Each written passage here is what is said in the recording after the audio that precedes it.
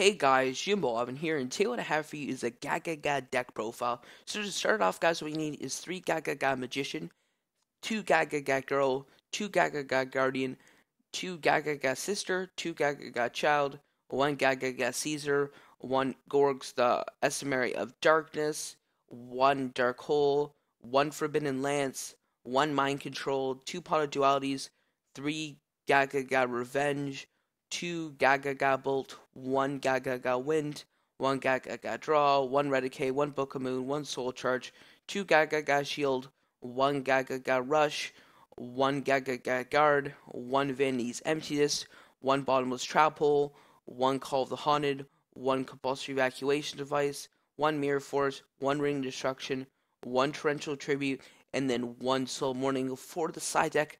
It's pretty much a combination. Well, it's pretty much just cards from my main deck, uh, but it's a combination of those cards. And it's just in case I want to switch a few cards, or pretty much just like if I feel like this card is that good, or I feel that I want more or less of like a certain card.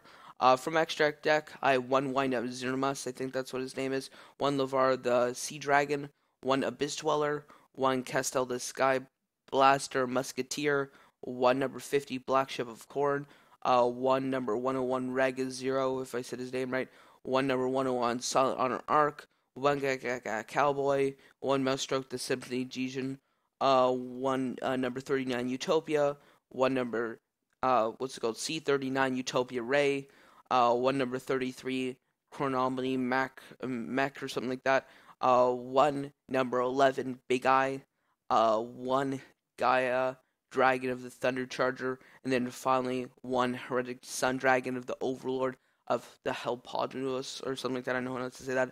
But overall, yeah, this is it's a pretty cool Gaga God deck. It's all about controlling or destroying your opponent's monsters, and then pretty much finishing off uh, them afterwards, which is pretty cool. But uh, yeah, that's pretty much it for the deck profile, guys. Hope you guys enjoyed it. If you did enjoy this video, be sure to hit that like button. And if you really enjoyed this video, guys, make sure to hit the subscribe button and make sure to apply to the Jimboevancraft Network for a 70% membership, guys. But that's me, guys. This has been Jimbo Evan, and I'll see you guys